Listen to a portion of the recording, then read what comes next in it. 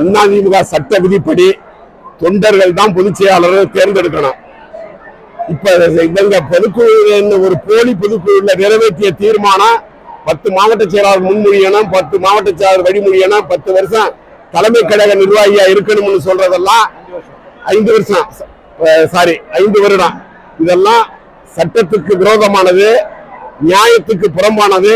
நிச்சயமாக நீதி எங்களுக்கு சாதகமாக வரும் என்ற நம்பிக்கை நூறு சதவீதம் இருக்கிறது.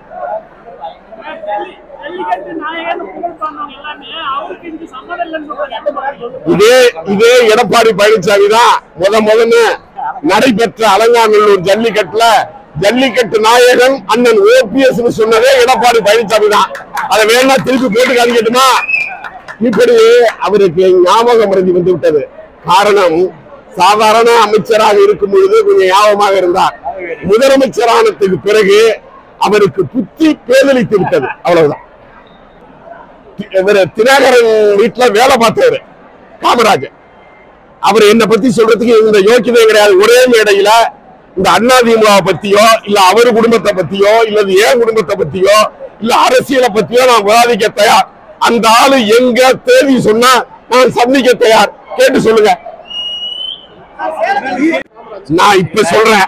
இந்த காமராஜர் என்னை எதிர்த்து என்னை எதிர்த்து புறத்தாண்டுல நிக்கிறது என்ன டெபாசிட் போயிடறேன். அவன் ஜென்மத்திலையும் ஜெயிக்க முடியாது. முதல்ல அவன் சொந்த தொகுதி மன்னார்குடியில நிக்க சொல்லுங்க. காமராஜா அவர் சொ- அவர் சொந்த தொகுதி மன்னார்குடியில நின்று டெபாசிட் வாங்க சொல்லுங்க. அப்ப மனிதனா ஆன்மகனாங்கிறத பாத்துக்க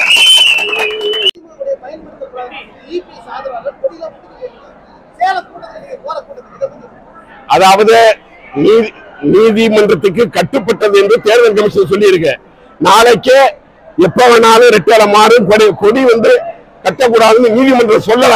நாங்க கொடியை கட்டுவோம் நாங்க வழக்கு தொடுப்போம். அந்த வழக்கு அவங்க சந்திக்க தயாரா இருந்தா வரட்டும். எப்படியும் அவங்க சந்திக்க தயார். அது ஜன ஜனநாயக நாட்டுல ஒவ்வொரு கட்சியும் மாநாடு நடத்தலாம் பொதுக்கூட்டம் நடத்தலாம். அதை வந்து ஜனநாயக முறைப்படி பார்க்கணும் அவ்வளவுதான். நாலஞ்சு நாளைக்கு சொல்லுவோம். எந்த இடம் சென்றான இடம் கொங்கு பெல்ட்னு முடிவு பண்ணி சொல்லுவோம். இந்த பரமேஸ்வரோட காமராஜ் மேல டிவிஎஸ்சில கேஸ் பெண்டிங் இருக்கு. ஆறு வருஷம் ஆச்சு இப்ப அரெஸ்ட் பண்ண போறாங்க. மிக விரைவில் காமராஜர் அந்த கம்ப்ளைண்ட் கொடுத்தது புகழேந்தி இருபதாயிரம் டன் மாசம் பிற்கூறுமட்டு ஒரு சர்க்கரைக்கு பத்து ரூபா ஒரு கேஜிக்கு முப்பத்தி ஏழு ரூபாய் மார்க்கெட்ல நாற்பத்தி ஏழு ரூபாய் கொடுத்து வாங்கியிருக்காரு. அதே மாதிரி பாம் ஆயில் ஒரு கோடி பாம் ஆயில் அதுக்கு முன்னாடி தோரம் பருப்பு தூண்டார் பதினஞ்சு ரூபாய் ஜாஸ்தி எவிடன்ஸோட கொடுத்துருக்கோம். காமராஜ் ஜெயிலுக்கு போற செய்தி மிக விரைவில் வரும். நீங்க எழுதி வச்சுக்கோங்க. அவருக்கு வைத்தியலிங்கனை பத்தி பேசுறது யோகியதை கிடையாது.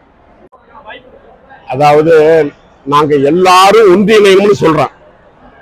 அவங்க சின்னமா இருந்தாலும் சரி டிடிவியா இருந்தாலும் சரி இதே வேற கட்சியை விட்டு பிரிஞ்சிருக்கிற கே சி பழனிசாமியில இருந்து அன்வர் ராஜாவில இருந்து ஏசி சண்முகத்தில இருந்து அமைதியா இருக்கிற சைதை துறைச்சாமியில இருந்து யார் ஒரு சாதாரண தொண்டன் விலகி இருந்தாலும் ஒண்ணு சேரணும்னு நினைக்கிறோம் நாங்க.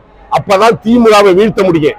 இல்லைன்னா திமுகவை யாரும் வீழ்த்த முடியாது ஒன்றுபடணும். அதுதான் தலைவர் என்ன அம்மா என்ன கட்சி நல்லா இருக்கணுங்கிறது எங்களுடைய விருப்பம். ஆனா எடப்பாடிக்கு கட்சியை பத்தி கவலை இல்ல. தான் தலைமையா இருக்கணும். கட்சி அவருடைய சொந்தமாகணும்னு நினைக்கிறாரு. அதுக்கு நாங்கள் விட்டு கொடுக்க மாட்டோம். சட்டம் நியாயம் நீதி எங்க பக்கம் இருக்கு. மக்கள் ஆதரவு தொண்டர்கள் ஆதரவு எங்க பக்கம் இருக்கு. அதனால நாங்கள் தான் வெற்றி பெறுவோம் ஒன்றிணைப்போம் மீண்டும் ஆட்சிக்கு வருவோம்.